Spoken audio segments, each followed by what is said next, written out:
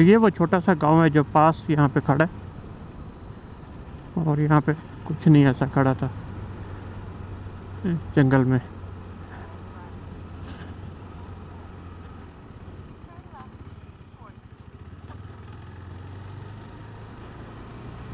और इसके जितने ज़्यादा टर्न्स हैं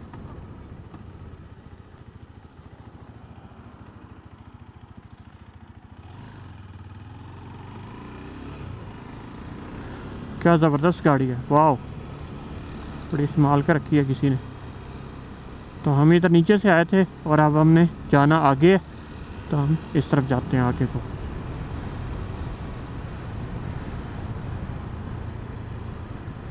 खूबसूरत जगह थी, काफ़ी पुरसकून जगह थी। यानी वहाँ आप आराम से बैठ सकते हैं शाम के टाइम पे और अपने इंजॉय कर सकते हैं इवनिंग को। काफ़ी पुरस्कून जगह थी ये इस लिहाज से। यानी वहाँ कोई नहीं था।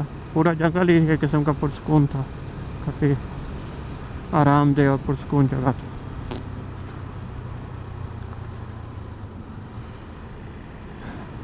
यहाँ काफ़ी ज़्यादा ऐसे नज़र आ रहा है जैसे रेस्टोरेंट्स और ये ए बी एन बी वाले घर और ये ऐसे अपार्टमेंट्स बने हुए हैं सारे।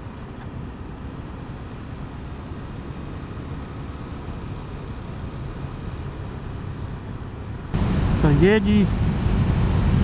अब हमारा अगला डेस्टिनेशन जो है, वो वो जगह है, जो कि हाईएस्ट पिक पॉइंट है इस एरिए का।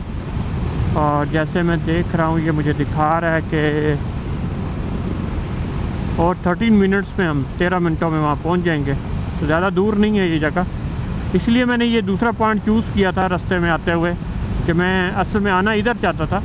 तो फिर मुझे ये जगह नज़र आई तो मैं क्या चलें, आपको इसके साथ भी खुद भी देखते हैं और आपको भी शेयर करते हैं। आप ये देख रहे हैं, छोटा सा एक नाला बह रहा है साथ साथ। और जैसे मैंने कहा, यहाँ काफ़ी ज़्यादा रेस्टोरेंट्स और ये सारा कुछ है, क्योंकि ये नेचुरल पार्क में लोग आते हैं, ये देख रहे हैं आप सामने। ये सारे के सारे रेस्टोरेंट्स हैं। और गेस्ट हाउसेस हैं ऐसे। लोग यहाँ आते हैं घूमने फिरने के लिए। तो कच्छन लॉक ख़त्म हो गया और हम आगे जाने लगे तो ये देखें ये ये कैंपिंग एरिया का ये सामने साइन आ रहा है तो यहाँ आप कैंपिंग भी कर सकते हैं ये देखें कैंपिंग फ्लड्स यानी कैंपिंग एरिया इसका मतलब है और यहाँ आप थोड़े से पैसे दे के कैंपिंग कर सकते हैं ये सामने कैंपा वैन आ गई है तो ये सारे कैंपिंग प्लस जो है ये आप देख रहे हैं नीचे सारी जो कैंपिंग हो रही है।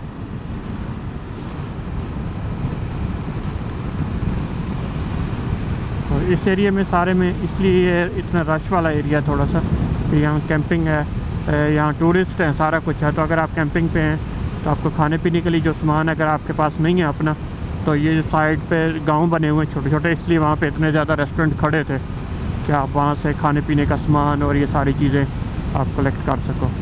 वाह नाइस बाइक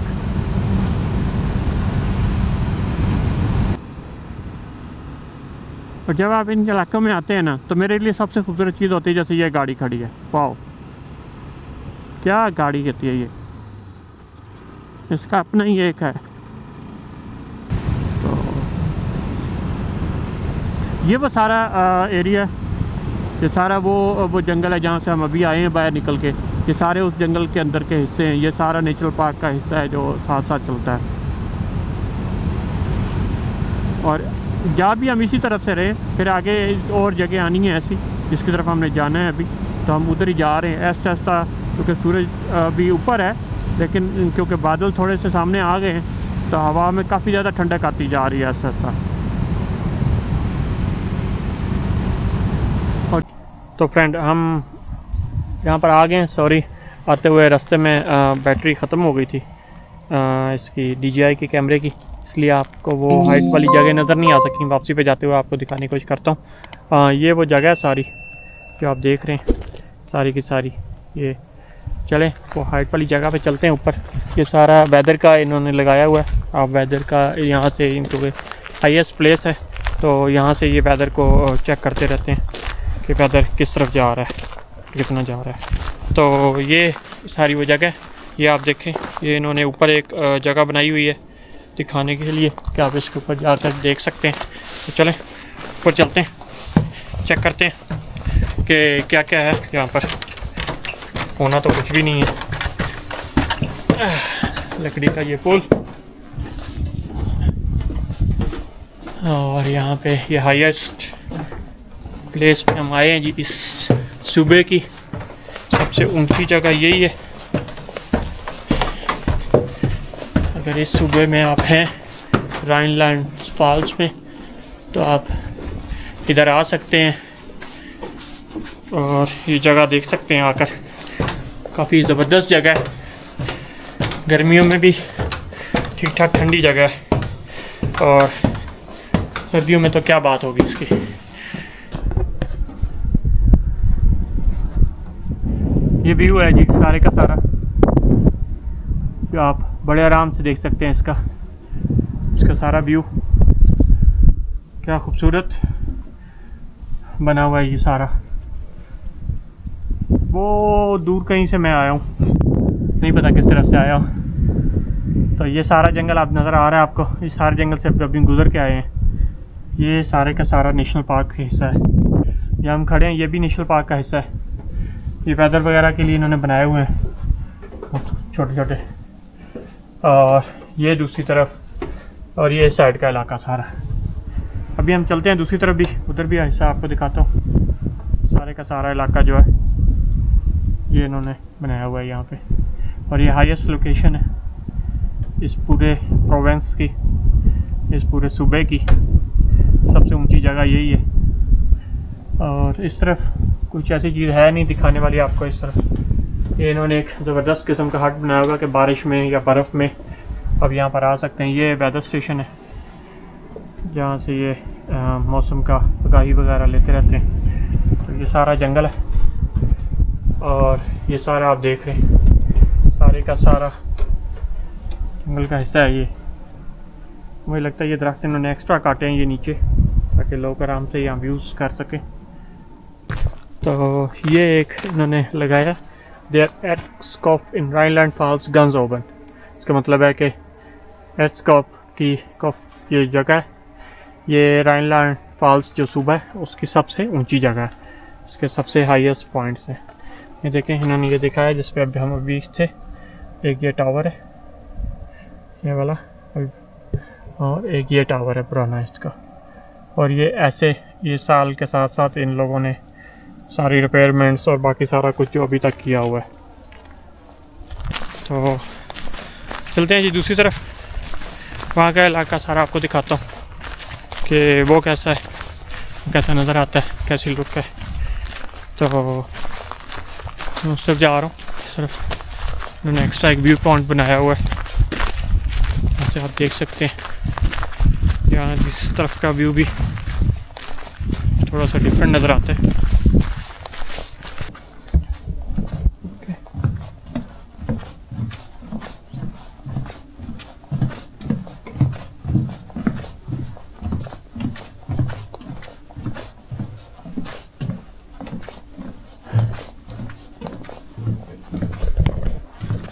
सारा ये इलाका देख, सारी पॉइंट ऑफ़ व्यू सारा व्यू जो है अभी ये जगह देखें।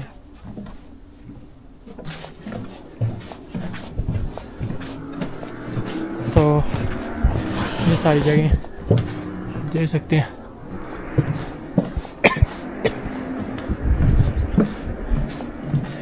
ये दूसरी साइड की जगह और यहाँ पे मुझे लगता है कि जंगल साफ़ किया है इन्होंने।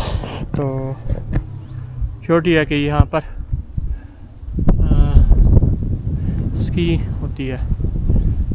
सर्दियों में स्की वगैरह करते हैं।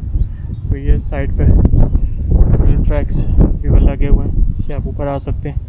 तो ये शी पार्न के लिए जो जर्मनी में शी पार्न करते हैं स्की के लिए यूज़ होता होगा इस साइड पे भी आपको ये ट्रैक नज़र आ रहे हैं। तो यहाँ से देखें क्या ज़बरदस्त व्यू है इसका। टॉप क्लास व्यू सारे का सारा। जंगल का ये खूबसूरत इलाका। ये जैसे मैंने कहा कि हाईएस्ट पॉइंट है। पैनलैंड फॉल्स का।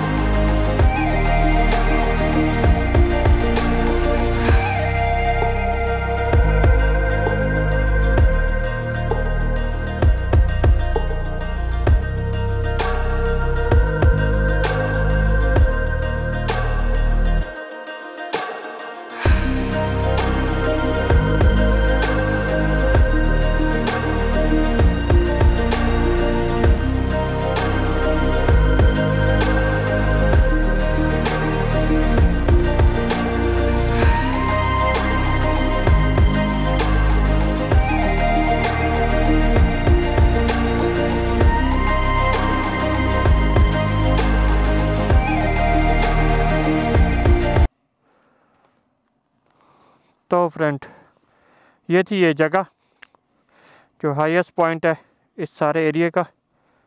और अब चलते हैं हम लोग। थोड़ा सा मोटरवे की ट्रै, ट्रैक होगा। और जाते हुए मैंने अभी टैंकन भी करना है। यानी पेट्रोल भी डलवाना है इन अदर वार्ड्स तो ये है जी। इस इलाके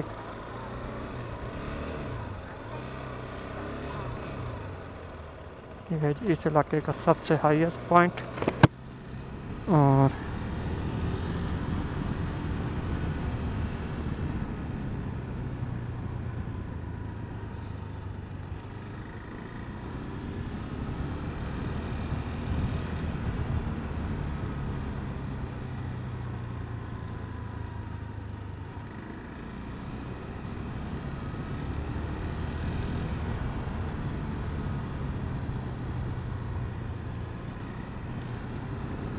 ये जी इस इलाके का सबसे हाईएस्ट पॉइंट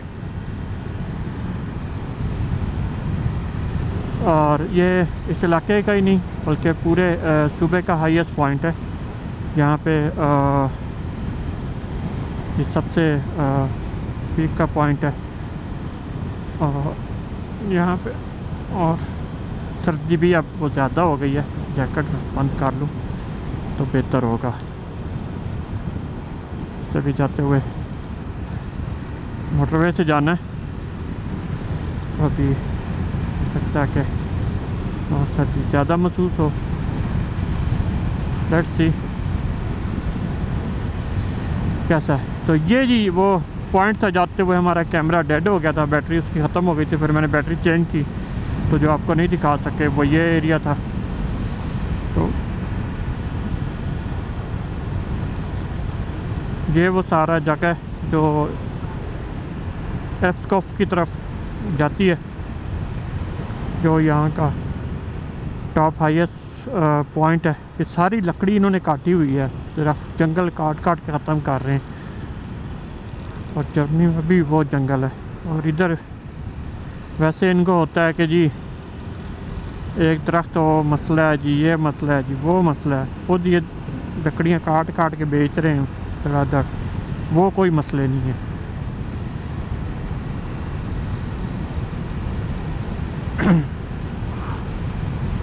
ये देखे फिर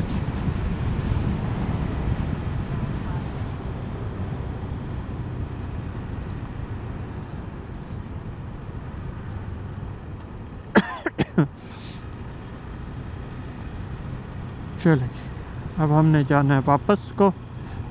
ये वो पॉइंट था जहाँ से हम मुड़े थे। और ये सारी की सारी सड़क मोटरवे जैसी है। अभी नई बनाई है इन्होंने।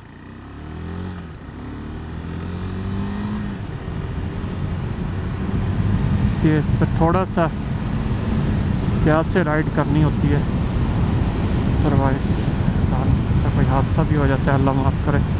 अल्लाह बचाई रखे। और ये सारा वो जंगल है। इन किसी टाइम फिर टाइम मिला, सर्दी आने से पहले पहले। नहीं तो अगले साल के शुरू में आपको ये सारा एरिया दिखाएँगे। ये सारा जंगल है पूरे का पूरा। जो इतना ज़बरदस्त किस्म का ये जंगल है, देखने वाला है। और इसमें एक और भी प्लेस है, जिसको हैंगिंग ब्रिज है। यहाँ जर्मनी का सबसे हाईएस्ट और सबसे लंबा और सबसे ऊँचा ब्रिज है इस एरिया में।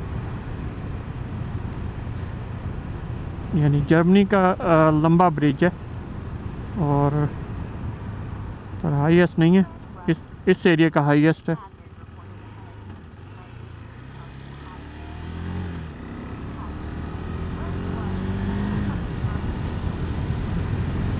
ये नेशनल पार्क हुनसरुक हॉकवाल्ड ये आपने बोर्ड देखा उन्हें। तो ये सारे का सारा एरिया जो है, ऐसा ही है। और ये यहाँ कंस्ट्रक्शन चल रही है, आप देख रहे हैं। सड़कें बन रही हैं। ये आगे।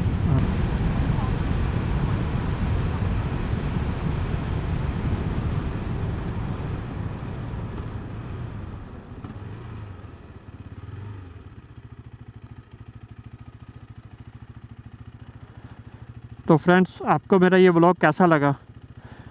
अगर अच्छा लगा है तो प्लीज़ कमेंट्स में ज़रूर बताइएगा। अगर कोई और चीज़ चेंज करनी है, कोई और चीज़ है तो बताएँ, वो भी ज़रूर बताएँ।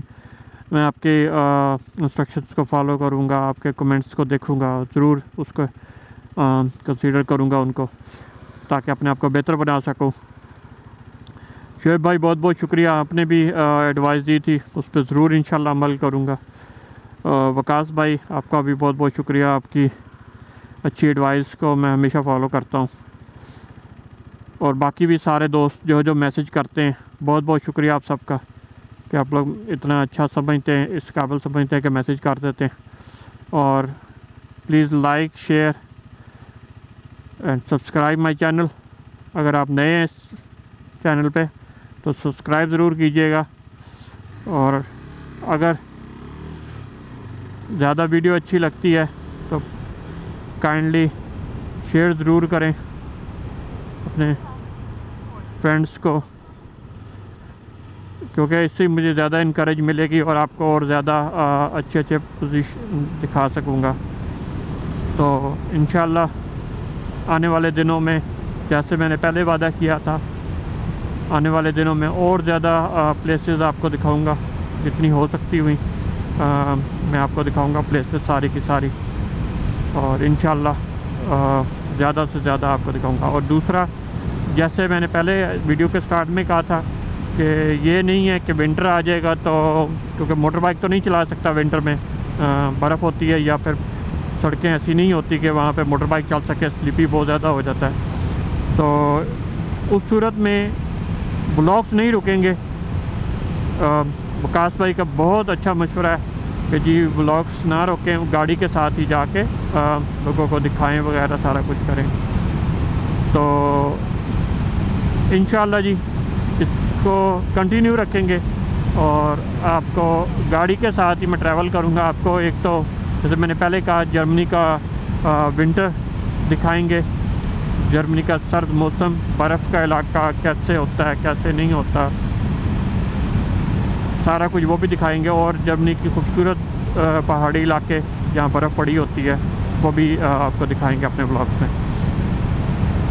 तो उम्मीद करता हूँ कि आप इस ब्लॉग को पसंद करेंगे, चैनल को पसंद कर, करेंगे और मुझे और करेज मिलेगी इससे तो ज़रूर वीडियोस को ज़्यादा से ज़्यादा शेयर करें और चैनल्स के ऊपर ज़्यादा से ज़्यादा लोगों को इनवाइट करें ताकि ज़्यादा से ज़्यादा लोगों को मैं ये चीज़ें दिखा सकूँ और साथ साथ कर सकें। शुक्रिया देखने का। इन नेक्स्ट व्लॉग में आप लोगों से मुलाकात होगी। अपना बहुत बहुत ख्याल रखिएगा। अल्लाह हाफिज़। Bye bye take care